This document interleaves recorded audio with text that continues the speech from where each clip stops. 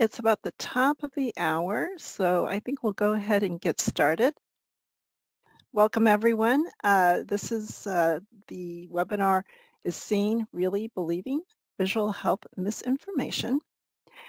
Thanks so much for coming and my name is Carolyn Martin and I am the Outreach and Education Coordinator for the Network of the National Library of Medicine, Region 5, and I'll be your host for today's session. Some of you might be first-time attendees to one of our webinars, so I'd like to share just a few words about who we are. The NLM, the National Library of Medicine, is one of the 27 institutes and offices at the National Institutes of Health. It is the world's largest biomedical library and produces online resources such as PubMed and Medline Plus. The NNLM, the Network of the National Library of Medicine, is an outreach program of NLM, working to ensure health professionals and the public have equal access to health information. NNLM is made up of seven regional medical libraries as well as several national offices and centers, all providing training, funding, and engagement opportunities to its over 9,000 NNLM member organizations. If you would like to connect with your regional medical library or learn more about how to become an organizational network member, you can check out our website and that information link is in the chat box for you. Today's session is part of the NNLM's new Health Misinformation webinar series. This series uh, features presentations from expert guest speakers like ours today and will enable librarians, public health professionals, health educators, and healthcare providers to pro explore various aspects of health misinformation, disinformation, and malinformation, and to learn practical and evidence-based solutions for how to identify it and how to stop its spread.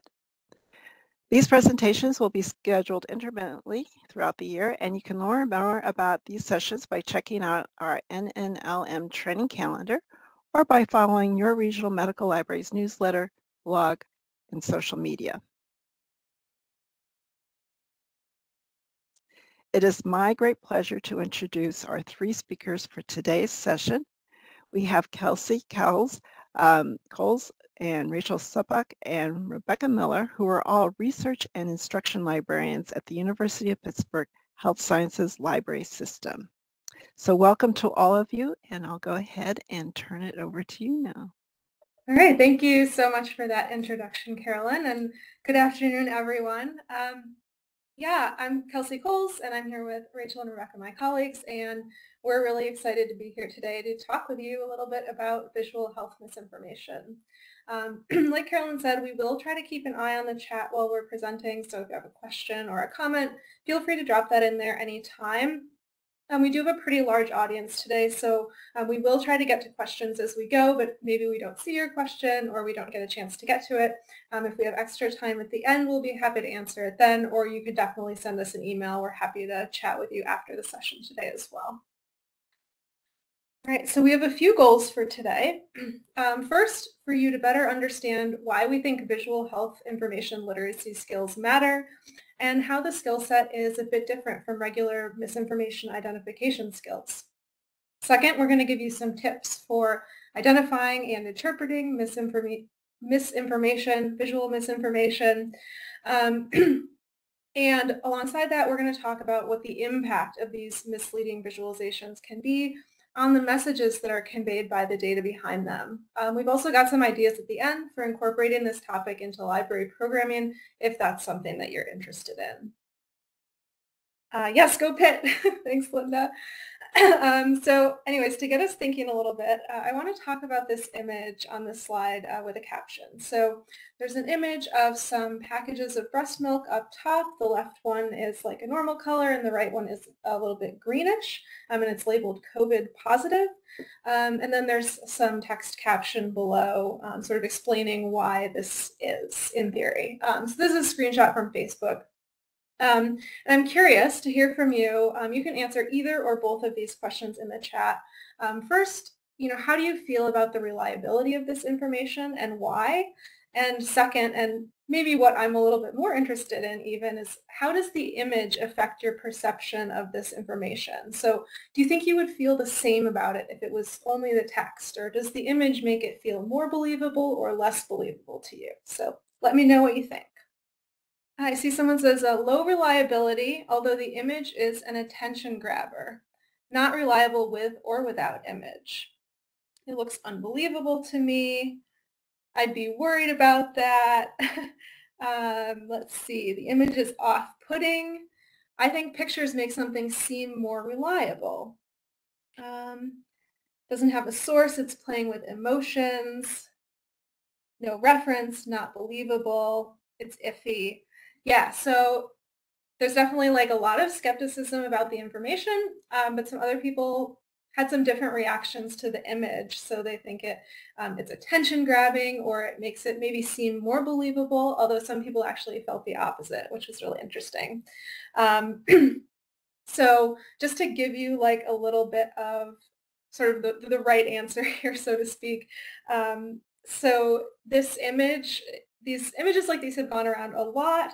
Um, and so there is like a little kernel of truth to this sort of claim. So there is evidence that there is some sort of like biological communication between a breastfeeding parent and a baby so that if the baby is sick, um, then the breastfeeding parent will sometimes um, generate antibodies that can be found in the breast milk. Um, however, there's no evidence that these would turn breast milk green, and this is more likely due to something else like a dietary change like eating a bunch of spinach or something like that. Um, so I'm going to go ahead and turn it over to Rachel now for a little bit.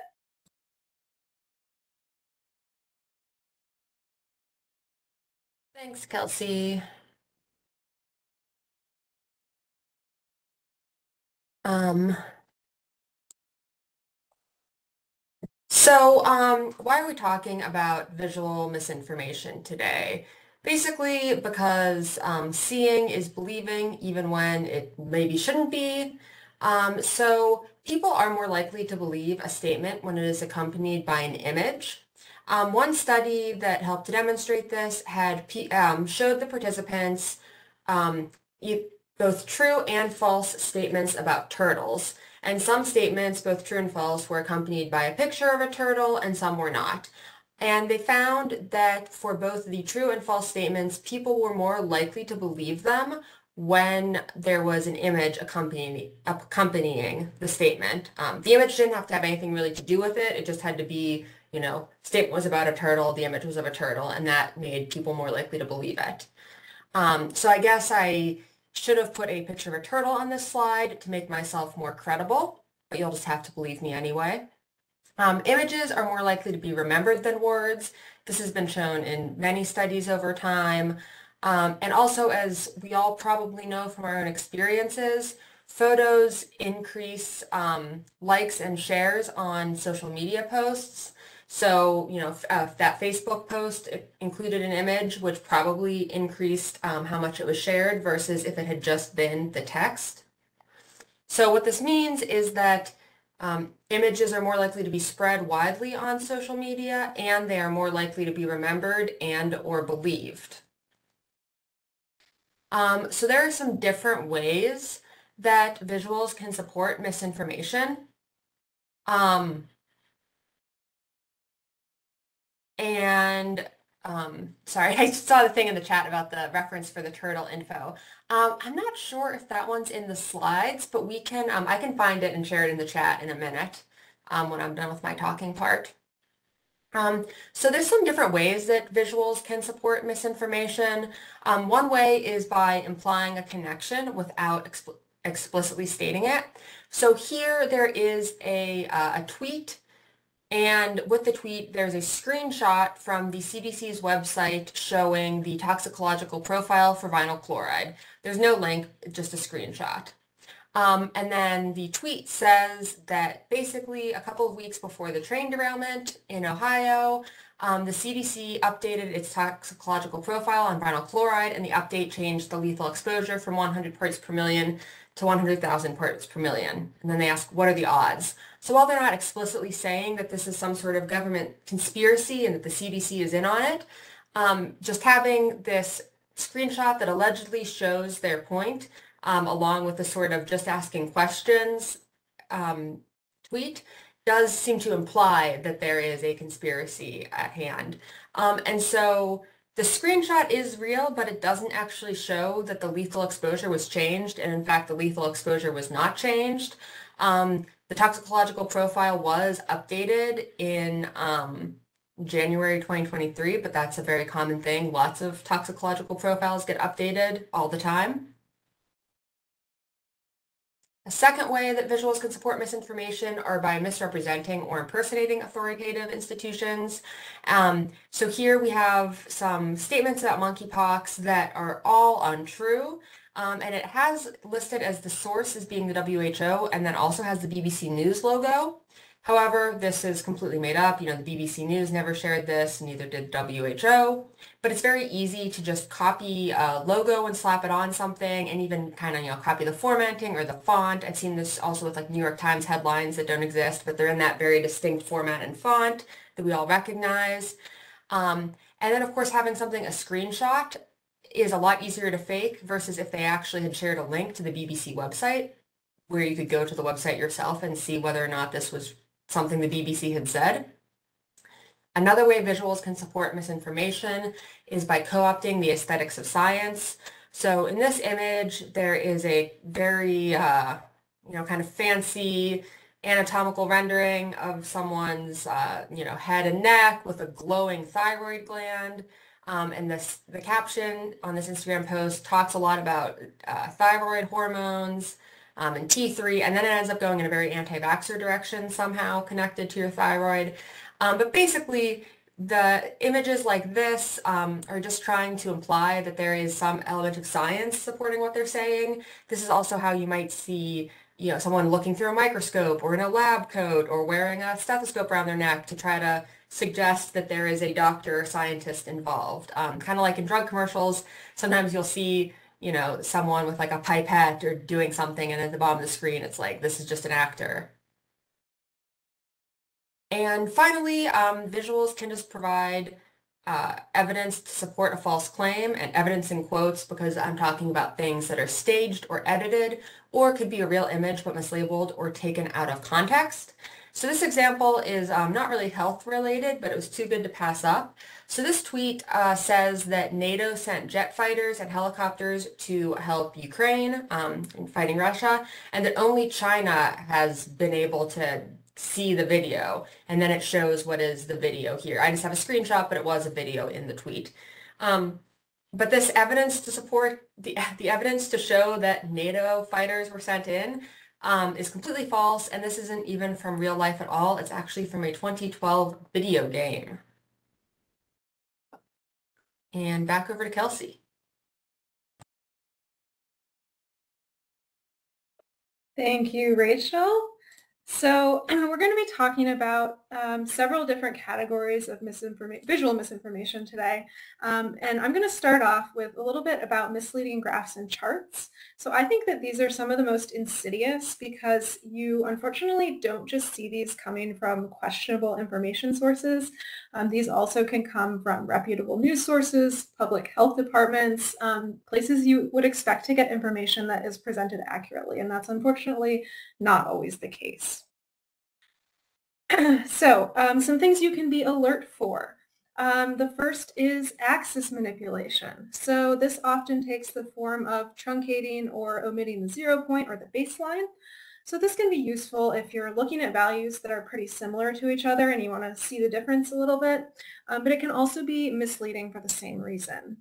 You can also be aware of inverted axes or axes that start at a high value and then decrease to zero, um, charts that have two or more different vertical axes for different categories of data, um, ones where the scale is not consistent all the way across one of the axes or both of the axes, um, charts where there is no scale given, things like that.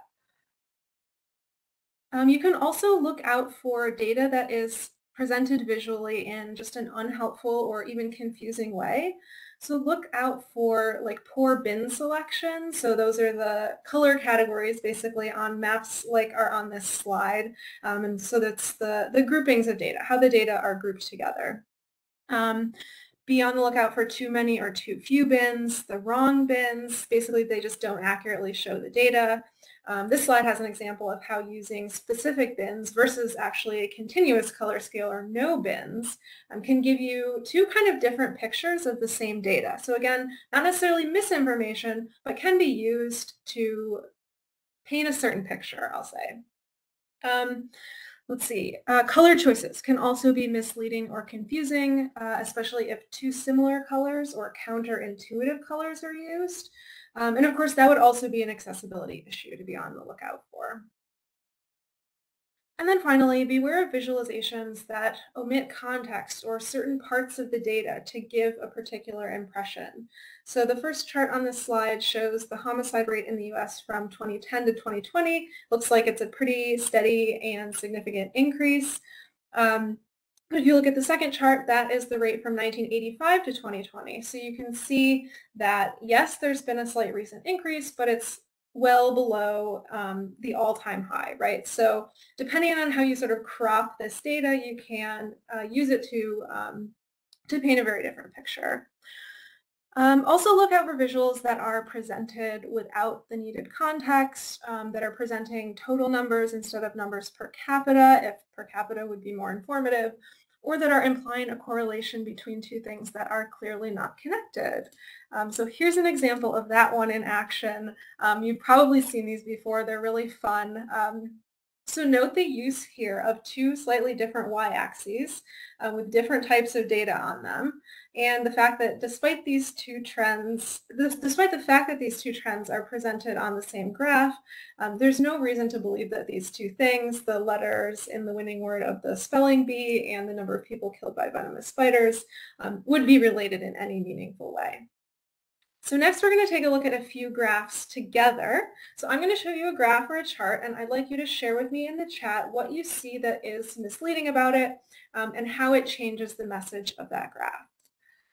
All right, so here's our first um, chart and we have gun deaths in Florida, the number of murders committed, committed using firearms between the 1990s and the 2010s, coming to us from the Florida Department of Law Enforcement.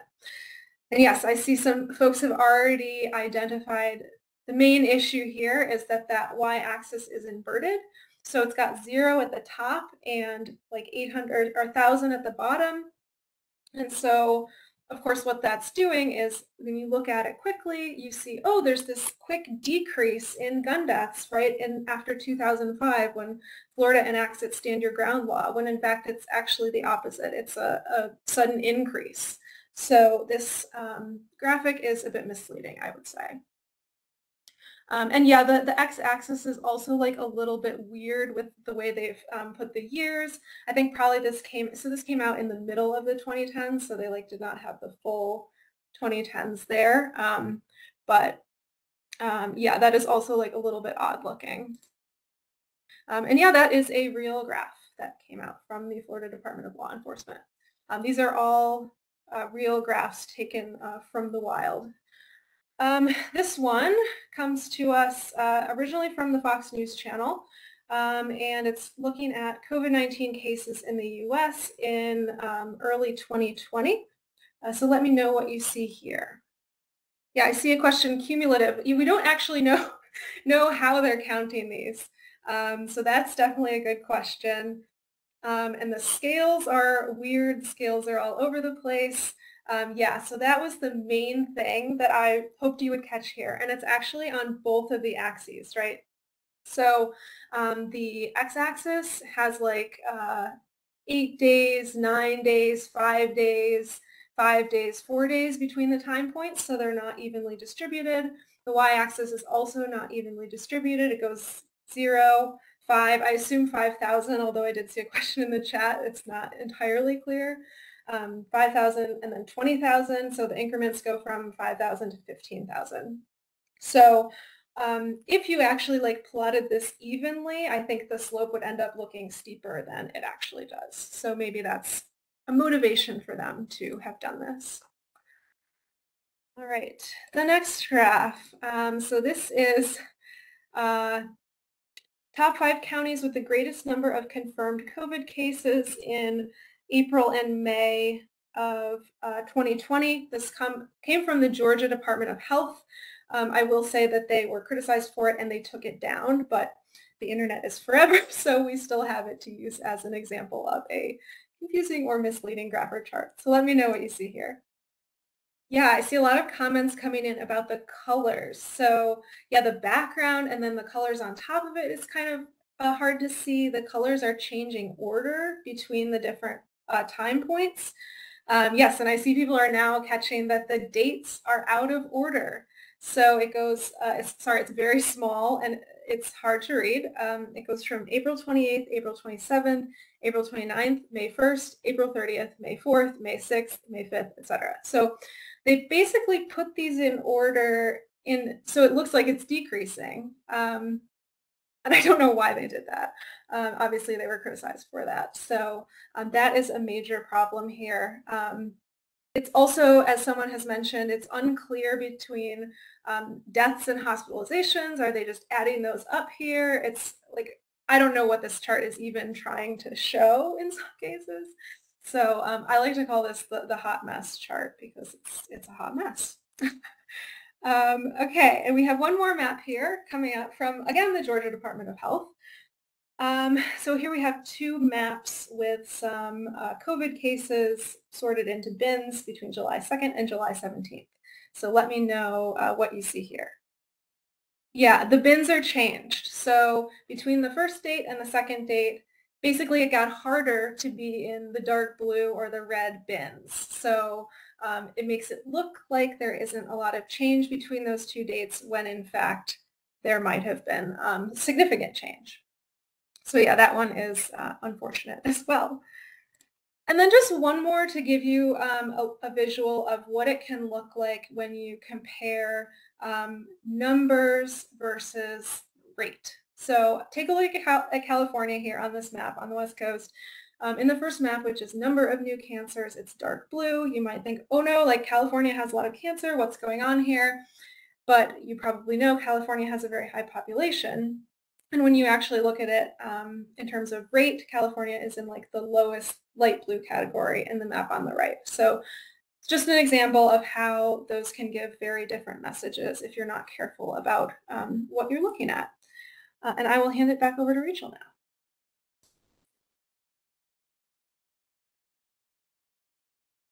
All right. Um, and I did drop the link to the study that mentions the turtles in the um, chat if anyone was interested in that.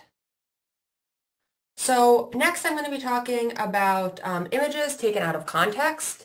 Um, here we have an image of a dog uh, taken from the out of context adorable dogs Twitter account, but unfortunately most images taken out of context are, not, are, are not quite as adorable.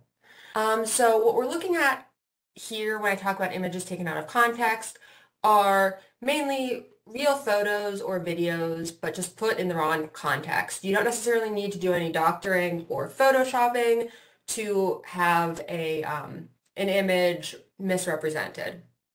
So here we have um, an Instagram post. I don't know why I said it's a tweet on the slide. It's an Instagram post. Um, from someone named Benny Johnson who says, this is what they've done to our country. And the implication here is that the they is Joe Biden and or the Democrats um, and talking about the U.S. So there is, the image says your stores and has some empty grocery shelves, your cities and has just like a crowded scene with some tents and people on the street, and then your borders, which has people lined up by um, a fence, and then their vacation at the bottom. PolitiFact identified the actual sources of the photos in this post, and um, the only one that is actually from the United States during the Biden administration is the one of their vacation. That is, in fact, the Biden family on vacation uh, while he was president. Um, the top one that supposedly is your stores is actually from London in 2020, so not the U.S. Your cities is Mexico 2021, also not the U.S. Um, and then your borders is actually Texas, but it is Texas in 2019 before Biden was president. Um, so again, just a way of taking images that are all real, but saying that they are something that they are not. And we have that again here. Um, with an image overhead view of a large crowd of people in a city somewhere, and it says Berlin right now protesting the COVID hoax. Um, but this has been miscaptioned. It is actually of a music festival and parade that took place in August of 2019 in Switzerland. So not in Berlin and also pre-COVID. Um, but, you know, how are you supposed to know this if you're not really familiar with the topography of Berlin or Switzerland? Um, it would be hard to tell. So one tool you can use to find the original context of photos is a reverse image search. So there are lots of tools out there for doing reverse image search, apps you can download and things like that. Um, if you use Chrome as your browser, Google makes it really easy to do a reverse image search in Chrome. So all you have to do is right click on an image um, and then from the little menu that comes up, choose search image with Google. So in this case, uh, there was a Facebook post that had an image of people lying in a street and it originally said that this was people lying dead in the streets of China from COVID-19. However, after you do the search image with Google, there are a bunch of matches online, um, including some from reliable sources such as uh, Reuters. And there you will find out that this is actually um, from 2014, and this time it is in Germany, and it is people um, protesting new pedestrian zoning uh, laws. So the people are not dead, it's well before COVID, and it is in Germany, not China. Um, you can also do this in using Google Images, even if you don't use Chrome as your browser. Um, by going to Google Images and clicking on the little camera icon. And then from there, you can upload a file of an image or put a URL of an image, and it'll do the same thing where it'll visually match you to um, where any other place that that image has showed up online. Uh, the caveat for reverse image searches is that this is only going to work if the image has already been shared elsewhere online. So if someone is using a photo um, that they themselves took or that you know, they found, you know, privately from someone else's files, not publicly available online, then you would not be able to necessarily find the original source. Um, but a lot of times these images are just ripped off from um, other websites. You'll need to play detective. Um, so you need to think about, are you looking at the original or is it a screenshot? Um, so again, screenshots make it really easy to fake things. Um, orientation and size can offer clues as to where it was originally shared. So for example, on um, TikTok, videos are normally in like a, a long, tall form. And so if you see something that's like short and horizontal, um, you know, landscape on TikTok, that means it was probably not originally shared using that app. Um, if a video or image is outside, you can look for clues to location that way. So languages on signs or street signs, um, notable landmarks. For videos, um, while you can't reverse image search the actual video, you could reverse image search a screenshot or a thumbnail. Um, and also always look for things that could be very easily edited. Uh, a sign someone is holding up is very easy to edit to say something else. Um, okay and handing this over. All right, thank you again, Rachel. So um, this next topic, um, it's been sort of like in the news a little bit in the last six months or so, um, particularly surrounding Alzheimer's research, um, because it turned out that some really highly cited research um, that had actually shaped that field for years has now been called into question based partially on evidence of image manipulation, as well as some other methodological concerns. Um, you can find more about that with a quick search. I think I can grab the link for you if you're interested in reading a story about that as well. Um, so that's not related to the image on this slide, I will say. Um, so here's a study from back in 2016 that found that almost uh, 4% of a huge study sample of, bi of biomedical research papers contained problematic images, with half of those appearing to contain images that were deliberately manipulated. Um, they also found that this problem had been increasing in recent years, likely due to um, you know, image editing software being more available and the fact that more and more people have the skills to use it.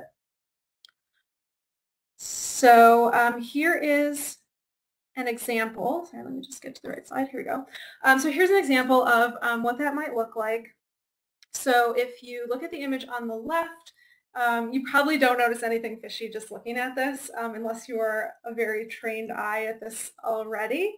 Um, but if you look really closely or you look at the image on the right that has the problematic areas uh, circled in the colored boxes, um, you may start to notice that a lot of uh, parts of this image are actually basically copy pasted from other parts. So the um, different colored boxes correspond to pairs that have been um, duplicated. So those are definitely not easy to spot.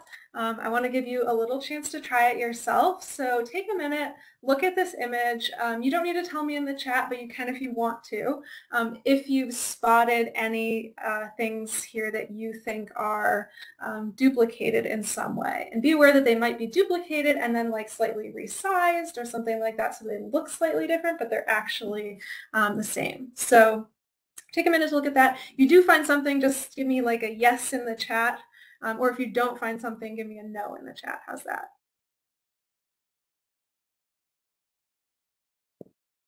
All right, I see some yeses. Oh, this is great. I'm so glad. Sometimes uh, it's really tough to spot these. So I'm really glad that um, you've been able to see some examples of this. So I want to sort of give you the answer key here. Um, Probably if you had a little more time, you could have spotted more of these. But um, it turns out that almost all of that image, like maybe three quarters of it, um, is uh, composed of um, copy-pasted little Western blot um, sections. So um, this is been referred to sort of tongue-in-cheek as the ransom note method of image or figure assembly, often seen with these Western blot type figures, um, you know, because like for ransom notes in the movies, people will cut out the little letters and stick them together, which is um, basically what's happening here, which is um, concerning, I will say. Um, if you've heard about this issue before, you might also have heard the name Elisabeth Bik, um, she's not the only person who searches for these manipulated images, but she is the most public and the most willing to put her name with her critiques. Um, she also does a lot of work identifying other areas of potential scientific fraud as well. So she estimated, and this is uh, as of 2020 only, uh, that her discoveries had led to at least 172 retractions, over 300 errata and corrections, so I'm sure those numbers are significantly higher now. She also helped uncover a paper mill that was responsible for over 400 papers um, because a lot of those papers had reused, duplicated, or manipulated images. Uh, and she was the lead author on that 2016 study that I mentioned a moment ago. And so when that study came out, she and her co-authors uh, took those 800 questionable papers that they found um, and they alerted the journals that they were published in, like, hey, you might want to take a look at these because it appears that um, there might be some fraud here.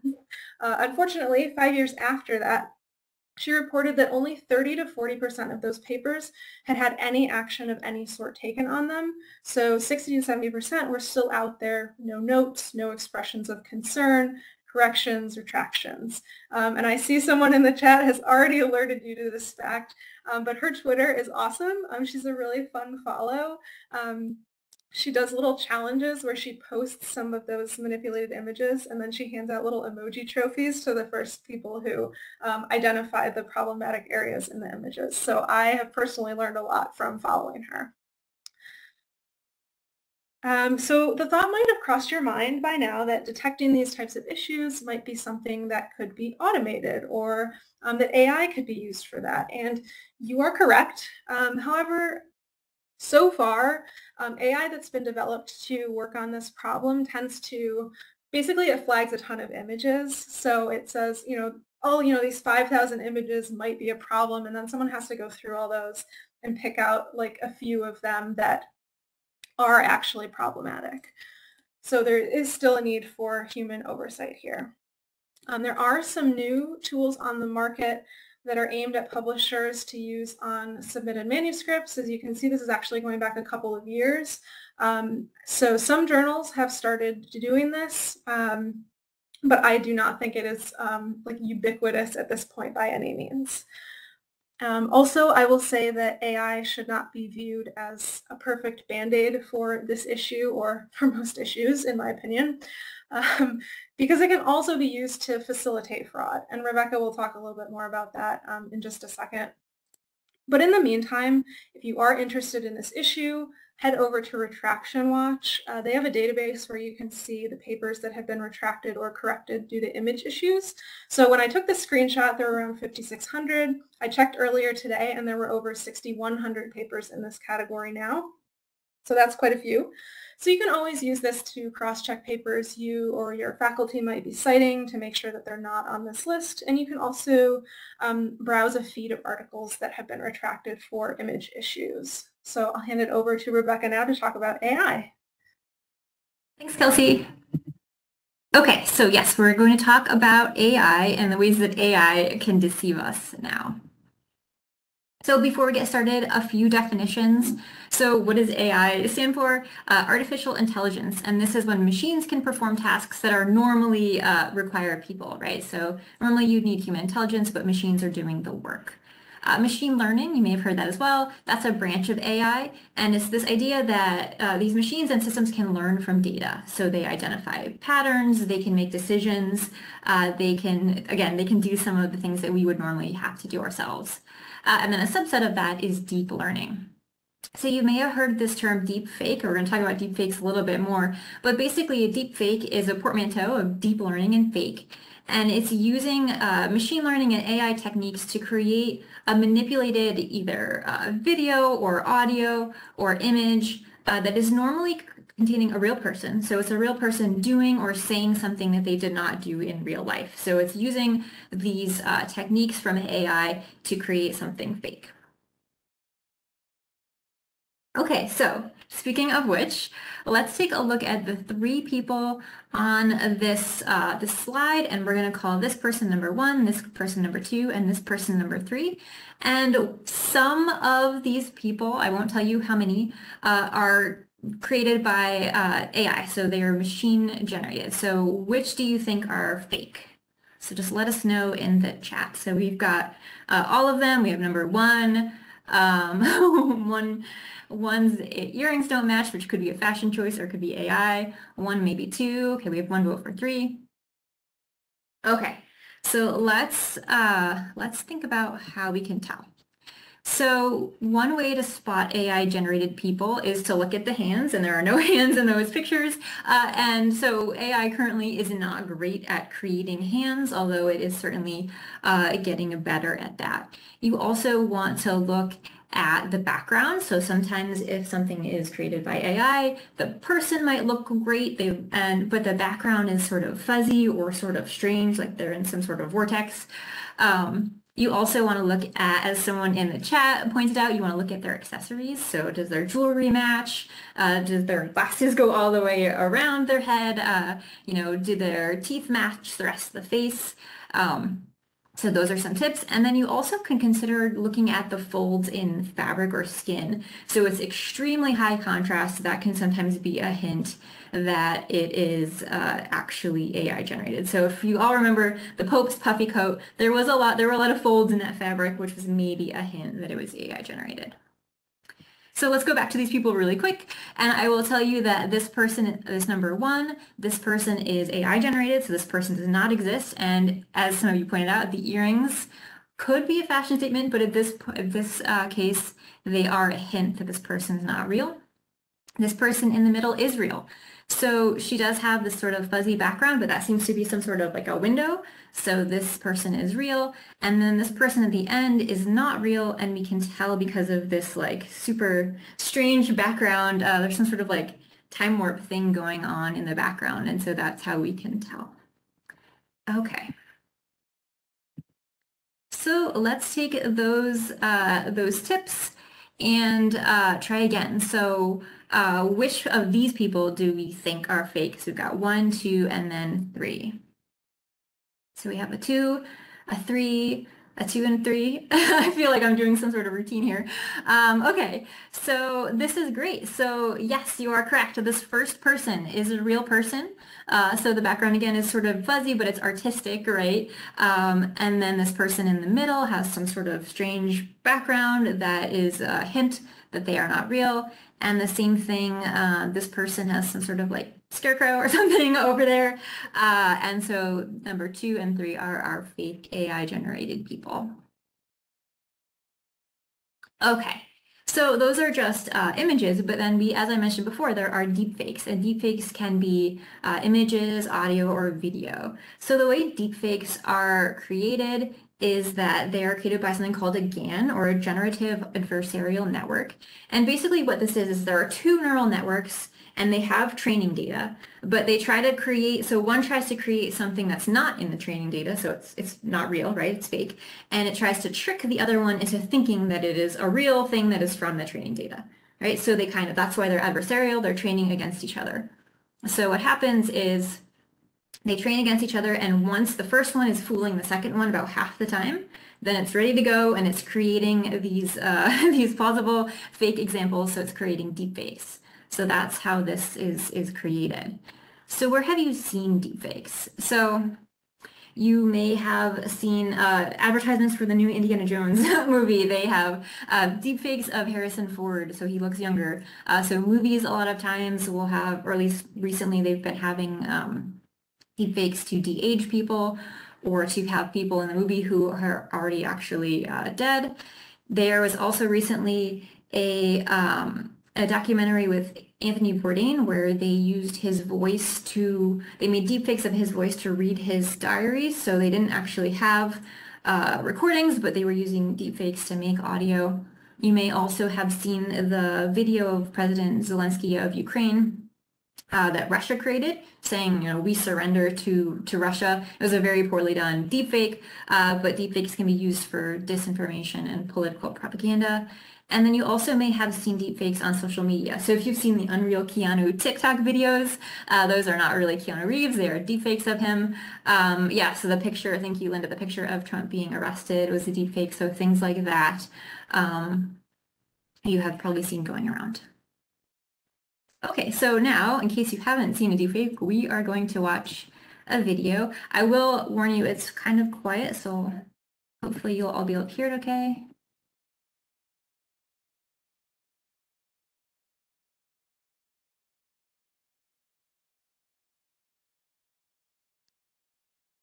And I just realized I probably did not share that. So I'm sorry. Um, let me actually share the video. That's terrible. Uh, We see the Instagram one on the. oh, you did? You did? Okay. well, we didn't, it didn't play, but we, we go. gave me my there ratings and my fan base. I feel really blessed because I genuinely love the process of manipulating people online for money. Okay, I got too excited, but hopefully you saw that. Um, so if you didn't hear it, it was uh, Kim Kardashian saying that she likes to manipulate people for money, and this was actually not a real video. This is a, a deepfake video of, of Kim. So how can you tell that this is a deepfake? Um, so some tips for you. Does the person's face look uh, airbrushed? Are they blinking too much? Are they blinking too little? Um, does their, their head move and not the rest of their body or is their body moving and then the, not the head? Um, and people are noticing in the chat that uh, her lips weren't necessarily lining up with the words. Um, so, you know, are there shadows or are there no shadows? So these are all some sort of um, clues, but really the context clues are, are what's important here. So would Kim Kardashian really say, oh, you know, I enjoy manipulating people uh, for, for their data and for money? Probably not, right? Uh, but uh, deepfakes can be really, really hard to tell. Uh, so we do have some some links in the slides for some practice. MIT has a really good website where you can you can practice um, detecting deepfakes. Okay, so a caveat to all of those tips is AI technology is constantly improving, uh, and so as it gets better, the tells are going to go away. Um, so obviously, especially some of the more obvious ones, they will it'll be harder to detect whether something is a deepfake or not. So you really want to look at images and think about context. So um, can you confirm the the picture somewhere else? Can you confirm uh, that you know is anyone else reporting the video? Is anyone else reporting that Kim Kardashian is saying that she likes to manipulate people? And if not, right, then this is probably just a deepfake. Um, okay. So deepfakes still require a lot of knowledge. They require um, uh, a lot of technology, right? So there are easier ways to spread misinformation. So that is uh, the good news. So we're probably a few years away from really good software that's highly accessible, uh, that people can create deepfakes. So that's the bad news. But the good news is that AI that detects deepfakes is also being improved. Um, so if you are a little bit alarmed by this idea of deepfakes, I do want to show you, uh, if you haven't seen it, uh, people are creating commercials um, from AI, and so they are are. Um, we'll, we'll see how how good you think the technology is currently. So this is an AI created commercial. Are you ready for best pizza of life? Bring friends down to Pepperoni Hug Spot. Our chefs make pizza with heart and special touch. Cheese, pepperoni, vegetable, and more secret things. Need delivery? Pizzas come fast. Knock knock, who's there? Pizza magic. Eat Pepperoni Hug Spot pizza. Your tummy say thank you. Your mouth say, mmm. Pepperoni Hug Spot. It's like family, but with more cheese. Okay, so uh, you can see that, oh, oh, so people are in the chat are saying that they're scared, but hopefully that's less scary because that's so clearly, uh, hopefully clearly not created by an actual uh, marketing agency. So you can see that the, the AI is not so good in that ad and you can definitely tell that they are not actual people. Okay, um, so just really quick before we talk about what you all might be able to do about all of this, um, is that we want to remember that uh, as people learn more about fake images and videos, they start to not believe anything, right? You start thinking you can't believe anything that you see. This is called the liar's dividend. So um, where people can discredit something that's true by saying that it has to be fake, right? So you can't believe anything that you see. So I can tell you that, you know, this thing that you see that seems to be true, it's not true. You can't believe it, right? So we see this in politics all the time. Um, and we have to be careful about this, right? We can't stop believing anything. We have to remember that there is truth uh, and that, you know, we can verify things, right? But we don't want to distrust everything that we see all of the time. Uh, so just something to keep in mind that there is truth out there uh, and we can verify and, and check context, but we don't want to start becoming totally uh, cynical.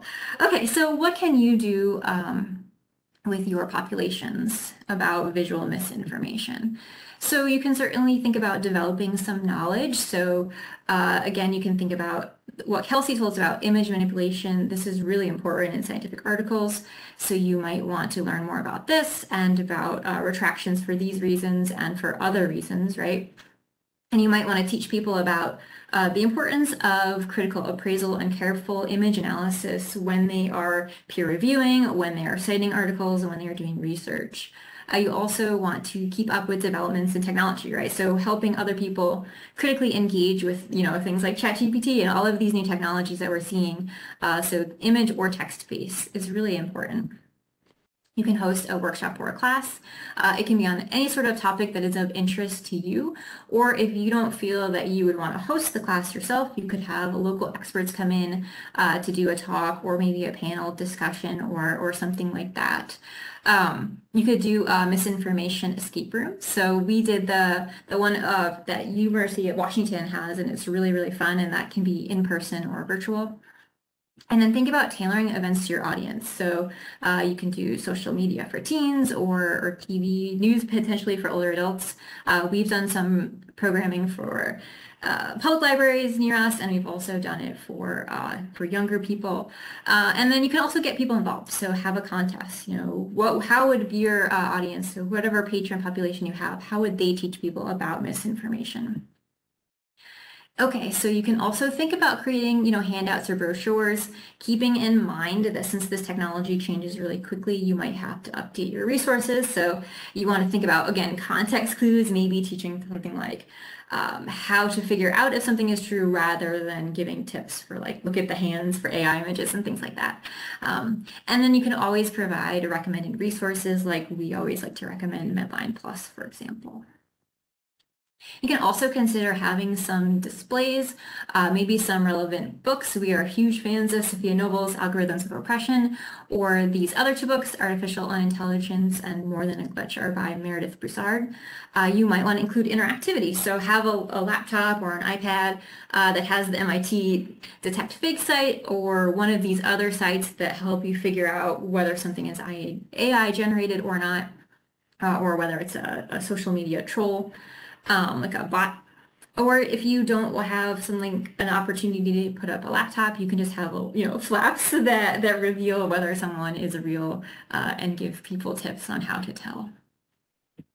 Okay, um, so uh, that is what we have for suggestions. I think we have a couple of minutes. I saw that we did have a question in the chat about um, Systems levels interventions. Okay, so it says, what about systems level interventions for systematic problems? How could our information ecosystem be more resilient? So that's a really, really good question. Um, and I think that when we're thinking about information ecosystems, the important thing is to remember that we have some trustworthy institutions into that information ecosystem. So maybe if you're thinking about a systems level approach, um, thinking about for an individual, you know, how can you tell which institutions you would want to include in your um, ecosystem? So maybe thinking about, you know, how do we know that people are using fact checkers? How, how are these, how do we know that these institutions are trustworthy? Um, but as far as a systems level approach, and maybe Kelsey and Rachel have some ideas, but I think that this is a societal issue that we need to be doing things, um, you know, we need to be regulating AI, we need to be doing a whole lot of things that we're not necessarily doing. Um, so Kelsey and Rachel, I'll let you, you jump in on that one. Yeah, I think that's um, a good response. And I also have like one thing that I would add to that is that like, um, this is something that we talk about a lot. Like we, we really struggle, um, like personally really be, with this um, sort of battle between like, you know, do we tell people how to recognize misinformation or like what should we be talking about on, on like a societal level? And I think we, we've kind of landed on like, we don't have a lot of power to like change things on a societal level. So like we try to give people, you know, these tips and whatnot that they can use, hopefully. Um, but we totally agree that this is not like an individual level problem and that there's a much more like systematic approach that needs to be taken on a larger scale to um, combat misinformation as a whole. the other um, thing I will, oh, sorry, go ahead, Rachel. Oh, the, the only thing I was going to add, um, just, you know, if you are in a position of uh, relative power and authority, like if you are, for example, you know, on the editorial board of a um, journal, I mean, that's a place where you can start kind of addressing some of the more systematic issues. Um, also, I mean, if you're at a uh, university and are, are, a department chair or something, also rethinking, um, you know, tenure and promotion things that incentivize people to, you know, publish as much as possible, like no matter what they might do ethically.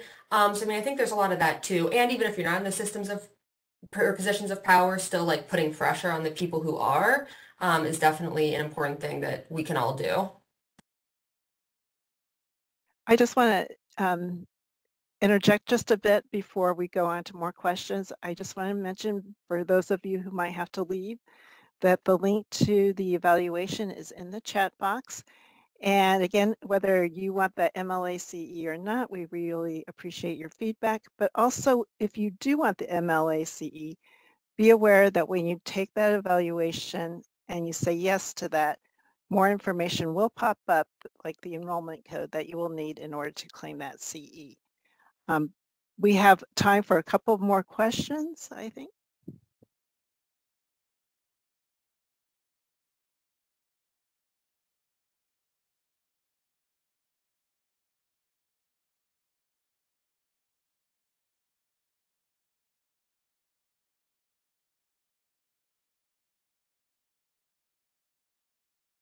I know you uh, all were responding to many of the questions and comments in the chat. I really appreciate that.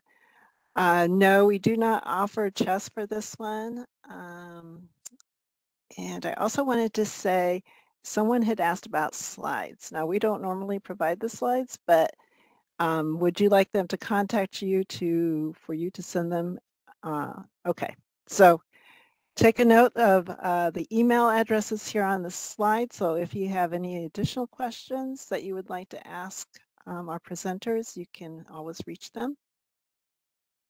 Oh, here's one. This might be a reach, but would you have any recommendations for someone still in school to focus on misinformation?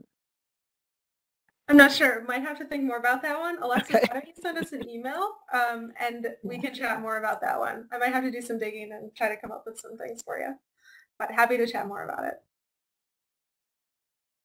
And, you know, one other thing you can do, like what you're already doing, is attending um, webinars or looking for classes that focus on that topic. I mean, I, I know that um, many uh, academic libraries have LibGuides with lots of information on that, but there's also different um, organizations that also focus on misinformation, not necessarily the health aspect, but many journalists, uh, journalism schools or organizations also have some of that information.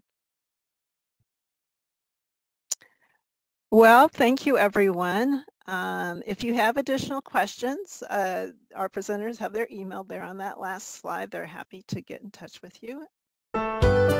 Thanks for watching.